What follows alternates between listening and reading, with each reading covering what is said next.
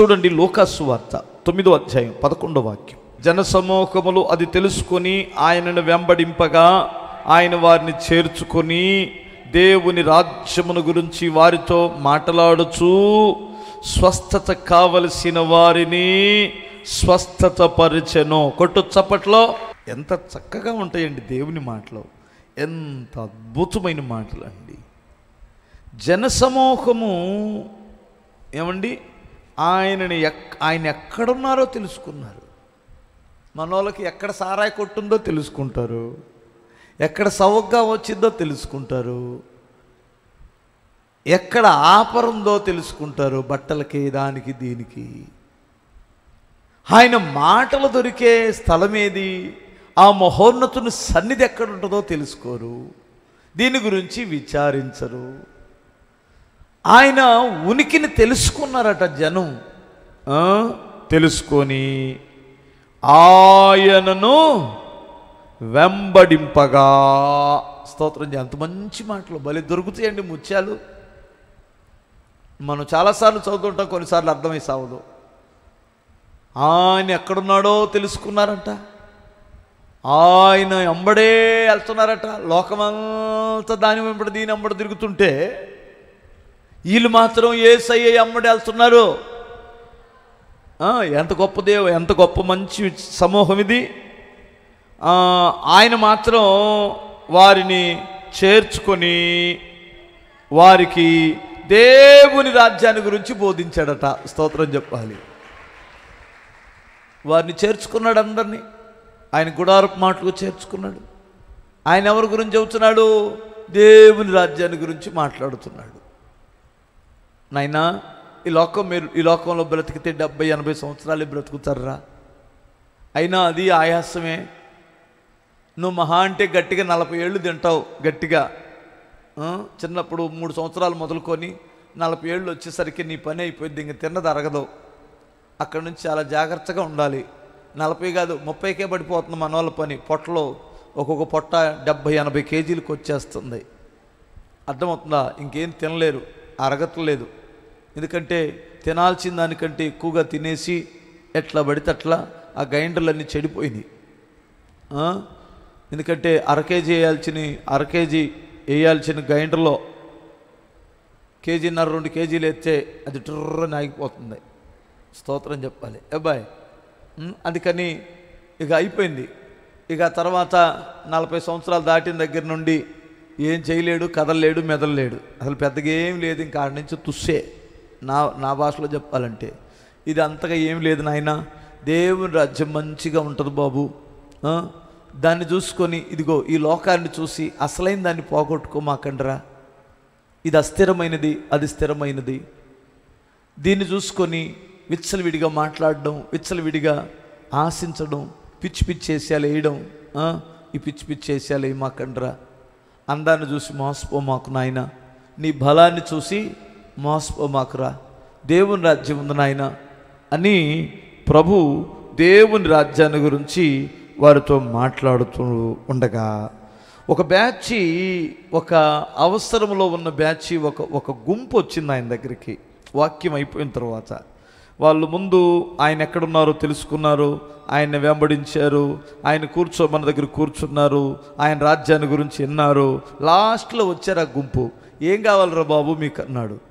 అయ్యా నాకేమో కాళ్ళు నొప్పులు నాయనా. నీకురా నాకేమో ఎప్పటి నుంచో తలనొప్పి బాబు. మరి నీకురా నాకు సరిగా కళ్ళు కనపడవు నాయన. నీకురా నాకు సరిగా చెవులు పడవు బాబు. నీకు నాయన ఆయాసం. నీకమ్మా నా కిడ్నీ జబ్బులు బాబు. నీకు గుండె జబ్బులు నాయన.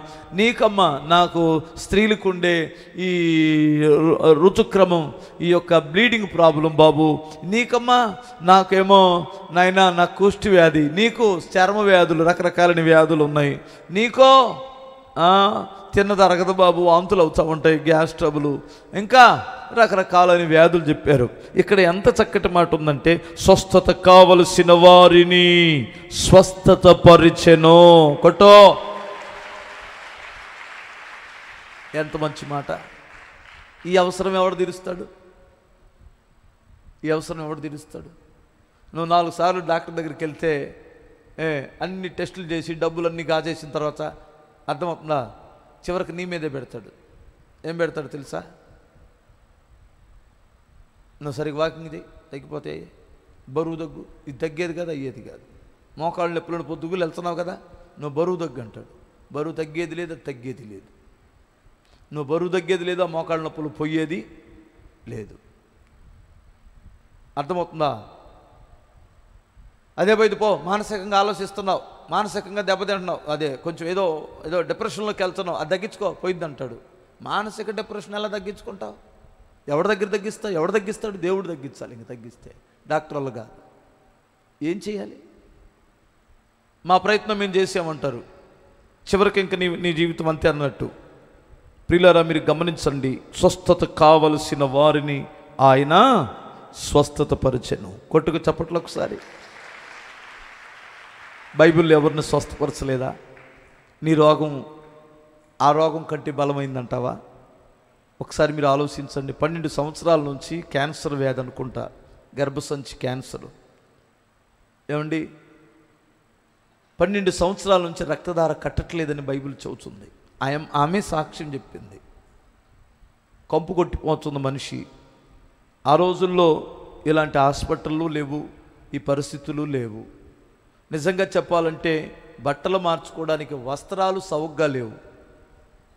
మీకు అర్థమవుతుందో ఎంత యాతనో ఒకసారి మీరు ఆలోచించండి. అప్పుడు బట్టలు లేవు. ఎవరో బట్టలు నేస్తే ఆ బట్టలు కొనుక్కోవడానికి ఎంత అది ఉన్నోళ్ళు మాత్రమే కొనుక్కుంటారు మంచి మంచి బట్టలు.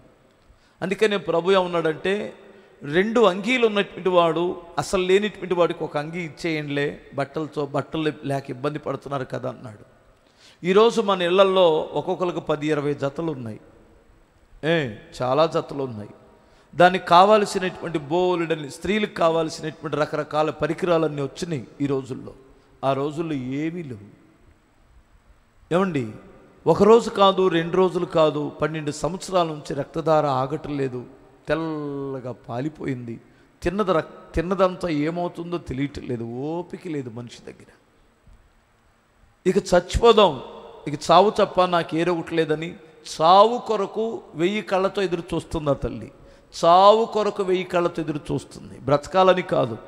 ఎవరో ఒక జీవం కలిగిన మాట చెప్పారు. యేసు ప్రభు వారు పలానా దగ్గర ఉన్నాడమ్మా ఆయన బాగు చేస్తాడు అని.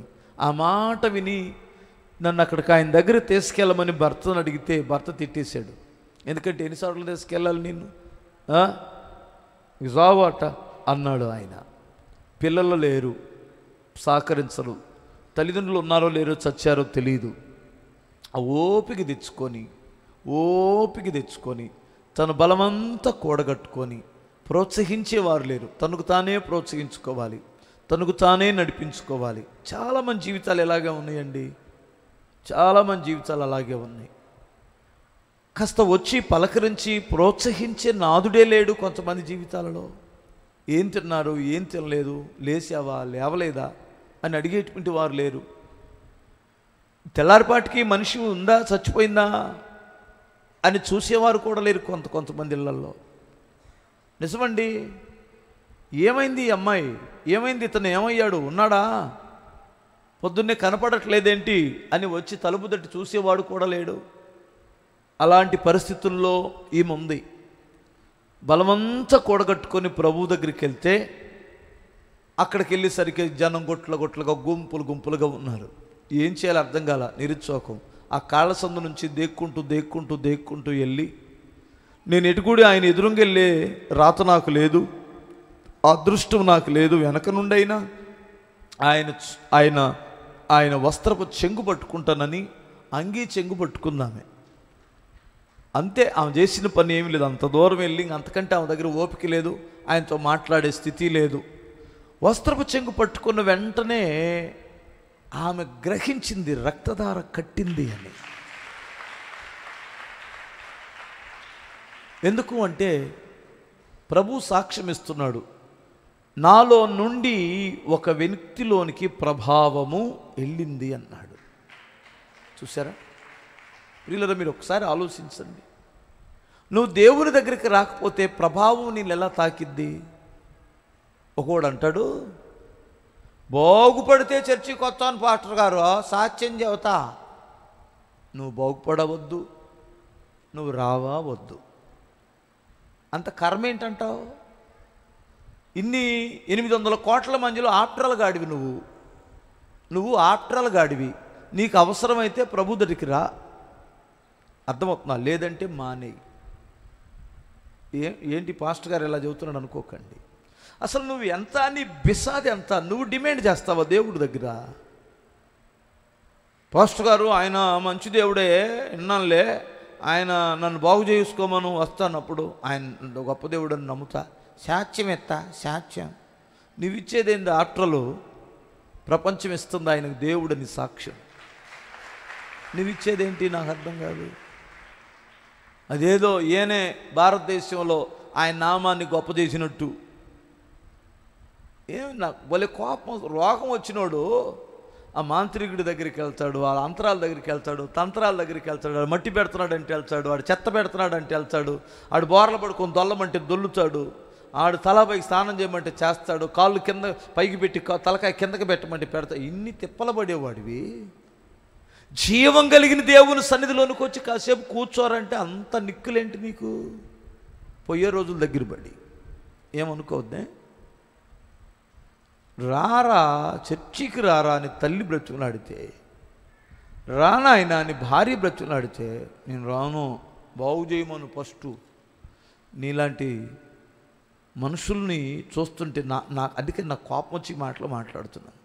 రావచ్చు కదా దేవుని సన్నిధికి. ఆమె ఆ ఓపిక లేకుండా వెళ్ళింది. ప్రభావం ఆమెను తాకింది. దేవుని గుడారములోనికి వచ్చినటువంటి వాడిని కదా ప్రభావం తాకింది. ఆయన సన్నిధికి రావడానికి నీ కులమా? ఏ కులస్తులకు వస్తుందో రోగం. ఒకసారి మీరు ఆలోచించండి. ఓసీలకు రాదా బీసీలకు రాదా? ఎస్సీలకు రాదా ఎస్టీలకు రాదా? ఎవడికి రాదురా బాబు రోగం. నువ్వు ఎవడైతేనే సమస్యల్లో ఉన్నావు దేవుని సన్నిధికి రా. అరే దేవుడు కూడా కులాన్ని అంటగడతావంటరా నీ సైతాన్ మా గోలగా పోతే నీ గోల. ఆ దేవుడు మన కులస్తుడు దేవుడేనా? ఎర కులానికి ఒక దేవుడు పుట్టాలా? ఏమండి ఏమండి ఈ మాటలు ఏం మాటలండి? దేవుడికి కూడా కులం దేవుడికి కూడా కులం. నువ్వు కులంలో పడి నువ్వు ఎటుకుడి కుళ్ళి కుళ్ళి చచ్చిపోతున్నావు. దేవుడికి కూడా ఈ దేవుడు ఈ కులానికి ఆ దేవుడు ఆ కులానికి ఈ సైతానుగాడి దేశాన్ని ఎంత వాడుకుంటున్నాడండి? దేవుడికి కూడా కులాన్ని పెడతావా? దేవుడికి కూడా కులాన్ని పెడతావా? నీ రోగానికి కులం లేదే? నీ పాపానికి కులము లేదే నీ నేరాలకి కులము లేదే. ఏమండి? ఒకసారి మీరు ఆలోచించండి. ఒక వేషతో ఈడు వెళ్తాడు ఆ వేష కులం ఏంటో అడగడం. ఎవరితోనో అక్రమ సంబంధం పెట్టుకుంటాడు దానికి కులం లేదు. అక్రమ సంబంధానికి కులం లేదు. సిగ్గుండాలి జీవితాలకి. దేవుడి దగ్గరికి వచ్చేటప్పుడు కులమా? రోగానికి లేదే కులం? ఏ కులానికి వస్తుంది ఈ రోగం? క్యాన్సర్ అంతా ఏ కులానికి వస్తుంది? గుండె జబ్బులన్నీ ఏ కులానికి వస్తున్నాయి? కిడ్నీలన్నీ ఏ ఏ రో ఏ కులానికి పోతున్నాయి? ఏమండి? ఒకసారి ఆలోచించి ఆ అమ్మాయి ఎంత బాధతో వస్తే నా కుమారి? నువ్వు స్వస్థత నొందావు సమాధానము కలిగిన దాన్ని వెళ్ళు స్తోత్రం చెప్పాలి. ఎంత మంచి మాట అండి మంచి దేవుడండి ఆయన. కుష్టి వేదోడు వచ్చి అడుగుతాడు ప్రభువా నేను బాగుపడడం నీకు ఇష్టమైతే నన్ను బాగు చేయగలవా? శుద్ధునిగా చేయగలవా? అని అడిగాడు. నేనంటే నా భార్యకి ఇష్టం లేదు నేనంటే నా పిల్లలకి ఇష్టం లేదు నేనంటే నా అన్నదమ్ములకి ఇష్టం లేదు నేనంటే నా గ్రామస్తులకి ఇష్టం లేదు. అసలు నేను ఇటు వస్తుంటే పారిపోతున్నారు. ఎందుకంటే నా వ్యాధి వాళ్ళకి వస్తుందని. నా గాలి సోకితే వాళ్ళు పడిపోతారని నాశనం అయిపోతారని. నన్ను చూసి భయపడుతున్నారు. నేను ఎప్పుడు చస్తానా అని ఊరు ఊరంతా ఎదురు చూస్తుంది. చివరికి కట్టుకున్నది కూడా. నాకు వ్యాధి నా వ్యాధి అలాంటిది బాబు. నేనంటే నువ్వు ఇష్టపడుతున్నావా? అని వచ్చాడు ఒకడు. అప్పుడు ప్రభు ఎంత చక్కగా నోరు తెరిచి అంటాడంటే నీవు శుద్ధుడు వగుట నాకు ఇష్టం నువ్వు బాగుపడడం నాకు ఇష్టం నువ్వు అలా చావడం కొంతమందికి ఇష్టమైతే నువ్వు బాగుపడడం నాకు ఇష్టం అన్నాడు మరి ఏం చేస్తావు? నన్ను ఎలా బాగు చేయగలవు? నేను ముట్టుకుంటే తప్ప నువ్వు బాగుపడవు అన్నాడు. నన్ను ముట్టుకుంటావా? నన్ను నా తల్లే ముట్టుకోదు. నన్ను నా తండ్రే ముట్టుకోడు. కట్టుకున్నదే ముట్టుకోదు. ఇంతవరకు ముట్టుకోలా? నాకు వ్యాధి ఎప్పుడైతే మచ్చ వచ్చిందో ఆ రోజు నుంచి ఈరోజు నన్ను ముట్టుకోలేదండి నా భార్య. నువ్వెలా ముట్టుకుంటావు? నువ్వు కొంచెం దగ్గరికి వస్తే నేను ముట్టుకుంటాను అన్నాడు ఆడు భయపడుతూ భయపడుతూ నాలుగు అడుగులు వేసి ఆగిపోయాడు. ఈయనే వెళ్ళాడు. ఆడు నాలుగు అడుగులు వేస్తే ఆయన ఇరవై అడుగులు వేసాడు. స్తోత్రం చెప్పాలి వెళ్ళి పట్టుకుంటుంటే శిష్యులు నోటి మీద "ఆ, అని నోరు మోస్తున్నారు. మనకు వచ్చిందని కుష్టి వ్యాధి కుష్టి వ్యాధి రావటం కాదు వాడు పసిపిల్లగాని దేహం వల్లే మారిపోయింది ఆయన దేహం. ఇలాంటి కార్యాలు ఒకడెవడో ఒకడెవడో ఆ ముప్పై ఎనిమిది సంవత్సరాల నుంచి పడి ఉంటే ఆడిని వెళ్ళాడైనా రే బాబు నీకు బాగుపడాలని ఉందా? అని అడిగాడు. నాకు బాగుపడాలని ఉంది కానీ నెలలో దించేవాళ్ళు లేరు స్వామి అన్నాడు. ఒరే ఈ నీళ్ళు దేవదూతలు ఈ కదిలించడాలు పక్కన పెట్టరా వాటికంటే గొప్పవాడు నీ ఎదుట నిలుచున్నాడు స్తోత్రం చెప్పాలి. నేను ఈ లోకానికి రానప్పుడు నీళ్ళు కదిలించడాలు దేవదూతలు రావడాలు ఇవన్నీ వేరే వేరే రా బాబు. ఆయన వాటికంటే గొప్పవాడు నీ ఎదుటున్నాడు రా. అసలు నీకు బాగుపడాలందో లేదో ఒక మాట చెప్పు. నైనా నాకు బాగుపడాలనే ఉంది బాబు అన్నాడు. అయితే నీ పరుపునెత్తుకున్నాడు అన్నాడు. ఎప్పుడైతే ఆ మాట తన చెవిలో చొచ్చిందో చచ్చుబడిన తన నరాలకు బలం వచ్చిందండి. అద్భుతం అది. మీరు గమనించండి జాగ్రత్తగా వినండి. దేవుడు చచ్చిపోలా ఆ దేవుడు బ్రతుకున్నాడు ఇప్పుడు. ఆ దేవుడు మన మధ్యలోనే ఉన్నాడు. ఆ మహోన్నతుడైన ప్రభు మనతో ఉన్నాడు. నాకు వచ్చింది రోగం ఇది. నా పిల్లలు చిన్నవారు. నాకు ఏదైనా జరగరాని జరిగితే నా పిల్లల పరిస్థితి ఏమిటి? ఈ రోగం పెద్దదైతే నా ఇంట్లో పట్టుమని పదివేలు లేని బ్రతుకున్నది ఈ రోగానికేమో ఖరీదైన రోగం నాకు వచ్చితే ఏంటి పరిస్థితి కొంతమంది బాధలు ఇవన్నీ అర్థమవుతుందా ఈ మధ్య కాలంలో ఈ ఆరోగ్యశ్రీ మీద కూడా కొంతమంది చేయటం లేదు ఆ? ఆ రోగం ఆరోగ్యశ్రీలో లేదంటారు ఈ రోగం ఆరోగ్యశ్రీలో లేదంటారు ఇంకా చెప్పాలంటే ఇక రెండు నెలలు పోతేనేమో అదేదో వస్తుంది ఎలక్షన్ కోడు అప్పుడు ఏమన్నా వస్తే ఏంటి? ఎప్పుడైనా రాని ఆరోగ్యశ్రీ ఉన్నా లేకపోయినా నీ దేవుడే నీకు ఆరోగ్యశ్రీ. హలే నిజమండి బాబు నా మాట నమ్మండి. ఇప్పుడు దాకా బ్రతుకున్నాం ఆయన దయలో బ్రతుకున్నాం ఎన్ని రోగాలు వచ్చిపోలేదనుకున్నారు నీకు తెలియకుండానే. హలే నువ్వు కానీ బ్లడ్ టెస్ట్ చేయించుకుంటే ప్రతి నెల నువ్వు ఎరక గుండెబెల్లి చచ్చిపోయాడు వాడు. ఆల్రెడీ నీ లివర్ కొంచెం డ్యామేజ్ అయింది మళ్ళీ పోయింది దాని అంతర్గత రికవర్ అయింది. కొంచెం కిడ్నీలు కొంచెం అప్పుడప్పుడు కొంచెం పాడైనవి మరలా రికవర్ అయినాయి బాగానే ఉన్నాయి. గుండె కొంచెం అట్టట్లా పోయింది మళ్ళీ గుండె బాగానే ఉంది బాగానే బ్రతుకుతున్నావు. అర్థమవుతుందా? కొన్ని కొన్ని క్లాట్స్ నీ శరీరంలో ఉన్నాయి అన్నీ క్లాట్స్ అన్ని కొట్టివేయబడుతున్నాయి. నీకు తెలియటం లేదు అవసరం కాకపోతే. అర్థమవుతుందా? అవన్నీ నీకు అర్థం కావటంలా. ఎందుకంటే దావీదు ఒక మాట అన్నాడు యహోవా నా కాపరి నాకు లేమి కలగదు. యహోవా నా కాపరి అంటే నా అంతరిద్ర్యములను కలుగు చేసిన వాడవి నీవే నా అవయవాలు కలుగు చేసిన వాడవి నీవే అంటాడు. అందుకని ఆయన మీద మీరు ఆనుకోండి మనందరము ఆయన ఆయన రెక్కల చాటును కానీ బ్రతికితే ఆయన సూపర్ స్పెషాలిటీ హాస్పిటల్లో ఉన్న మంచి డాక్టర్లు అందరికంటే గొప్ప దేవుడు ఆయన. గొప్ప దేవుడు. నీకు స్వస్థత కావాలని నీ తండ్రికి తెలుసు తెలుసు. నమ్మండి. నమ్మండి. స్తోత్రం చెప్పగలరా?